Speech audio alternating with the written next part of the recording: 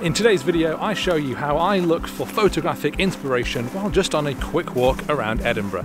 Let's start off by taking a look at the shots we're going to get.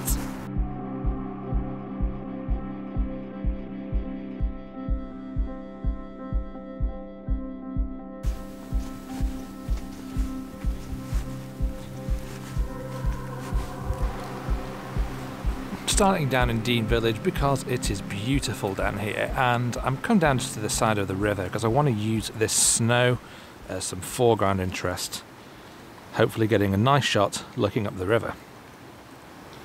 Focusing on the middle and taking my shot. This is a really lovely scene here, but the problem is, is that the church in the background is very overpoweringly bright meaning everything else is falling into shadow. It's actually the problem with quite a lot of Dean Village, if you can see, because it's in this sort of gorge, means that once the sun starts to set, it's only the tops of the buildings that are being lit, meaning everything else falls into shadow and we lose a lot of that interesting contrast.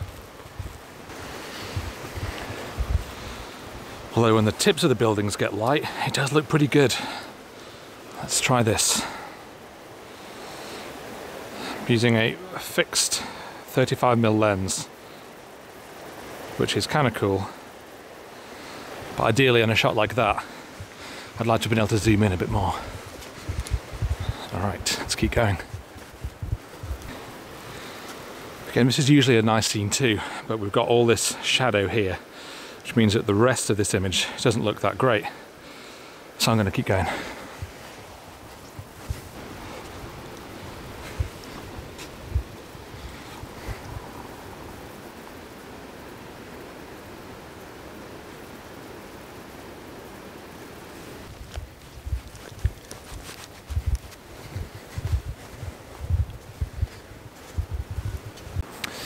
I'll actually just cross the river and come to the other side. And the reason is, is because we've got this really nice bit of concrete, whatever it was, which is going to give some really nice foreground interest for the rest of the scene.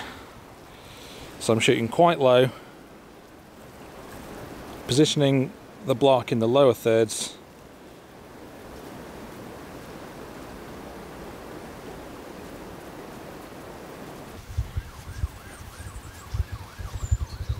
This fading evening light does mean, if we just peek over this wall, beautiful colours on this building here.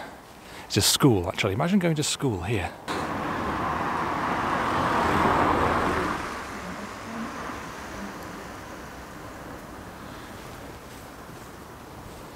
It's a shame there's no cloud detail because having just an empty blue sky doesn't look great. It's also a shame I don't have a longer lens to try and zoom in on some of these towers a bit more and make the composition a little bit more interesting. Heading down to the Modern Art Gallery. It's another great looking building. There really are no shortage of lovely buildings around here. Of course, not everyone can live in Edinburgh, but there may be some really nice buildings where you are, or some like modern ones that look a bit striking. There's another one just over here they're always worth going and exploring in different light and seeing if you can get anything from it.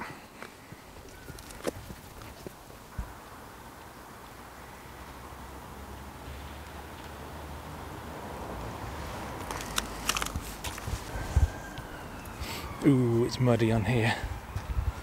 Now, I want to get that snowman, but I don't want my shadow in it. If I get really low, hmm, I don't think there's any way of avoiding my shadow in this, unless I try and shoot another way. But I want the building in the background. Hmm, maybe this angle. Sits out, moving around the scene, trying to find something that works.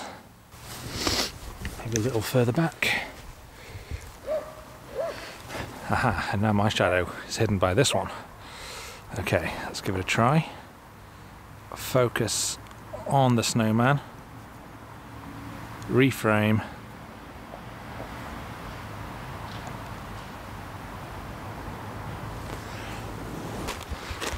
There are other snow objects, but none of them are men anymore, none of them are people. So I don't think I'm really going to get a lot from them. That's just a ball of snow. I do like the no more miracles sign, but with a wide lens at 35, it's almost invisible in the scene. I'd like to try and find a nice bit of snow to use as foreground and get a big wide shot of the building. Because it does look really cool with this evening light on it, even though this is just empty blue. I'd love there to be some clouds in there. Let's see what we can find.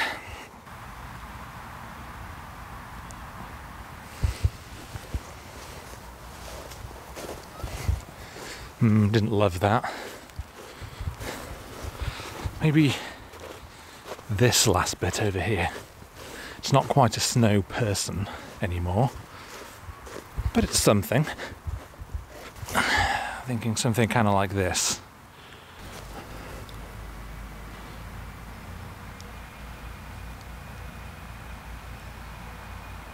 Thing is, I'm not necessarily getting great stuff here. I'm almost certainly not getting anything portfolio worthy. But the point is, is that I'm outside and I'm trying. And one of the things I talked about um, between last year and this year is the general lack of drive and inspiration I've had to come out and to actually grab my camera and go and take some shots. One of the things I promised myself that I'm going to do more is just to go out and basically go out for a walk, but have my camera with me and just start trying to get my brain working again. Start trying to think of photos I want to get. And maybe that's retreading old ground like I've done quite a bit today in this video. Or maybe it's just kind of walking down a different street that you maybe not gone to before and just seeing what you can find. And I am already finding that just being out is half the battle. It's kind of like that drive to exercise where like the argument you have with yourself about getting up and going and doing the exercise is always worse than the actual exercise itself. Unless you're doing burpees. Burpees are horrible. They are worse than thinking about exercise. So, frankly, even if I go back home with no photos I like, which is likely, I've not taken anything great, I'm still happy that I've been out. That was the point. The point wasn't to get the best photos, the point was just to get out shooting. And if you found that you've been lacking inspiration and lacking that drive to go out and start taking more photos, that is the time to just pick up your camera and go for a walk in any conditions, go anywhere. The point is, is you're trying. That is going to kickstart your photography more than anything else. I've come to this side of the art gallery because this is where the sun's hitting it. And I'm wondering if maybe there is a shot to be had. Something like this. With the allotments all snowy. Problem is that the ground is very much in shadow. So it's not the most compelling of shots to be honest. Though I do quite like the road here leading up to the building. I'm not sure I'm going to be able to do this justice on this camera, but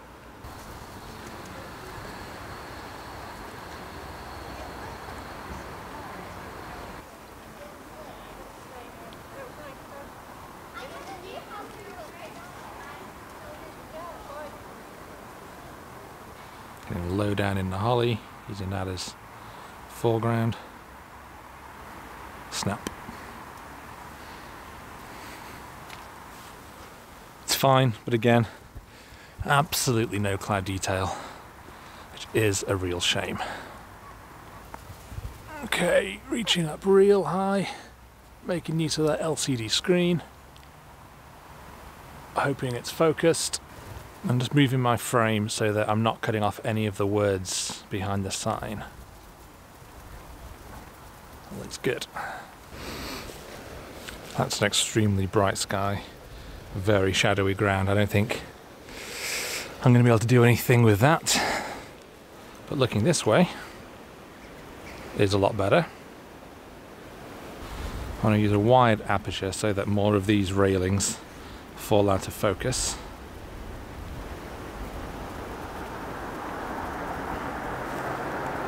Something like that looks great. Like this patch of light. I just need someone to walk through it. someone like this. Snap, snaps. Let's have a look. I'm not really one for street photography, but I do know that sometimes requires a bit of patience. Yeah, one of these might look quite nice.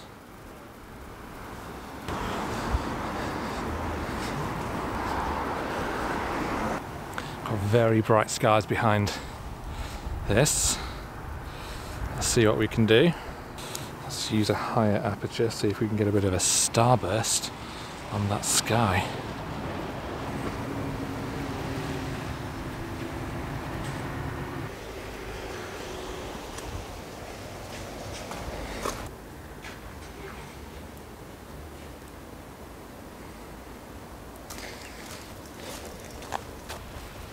I've lived a few minutes away from this area for the last year, but most of these roads I'm going down now, I have never been down, which is pretty exciting.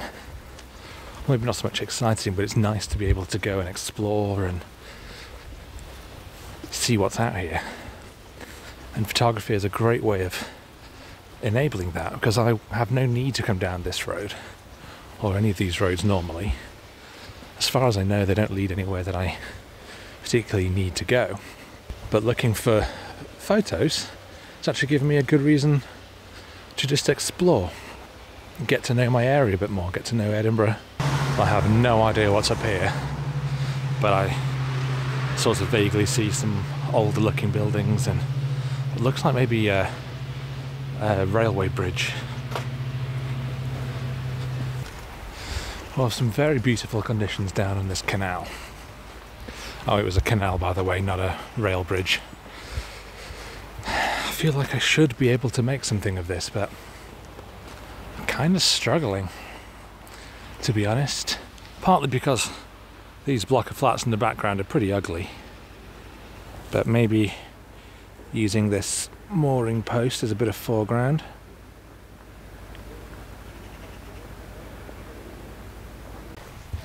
I'm turning back because it is absolute solid ice the entire way down this canal and while I'm sure there could be some good photos in it the chances of me falling on my arse is pretty high.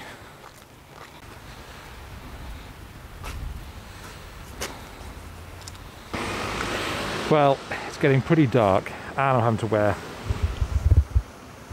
a mask now so uh, I think it's probably a good time to call it a day here. I don't think I'm going to get a lot more right now. Hopefully this video has been at least a bit interesting. If you have enjoyed it, please do hit that like button, subscribe if you don't already, and I will see you next time.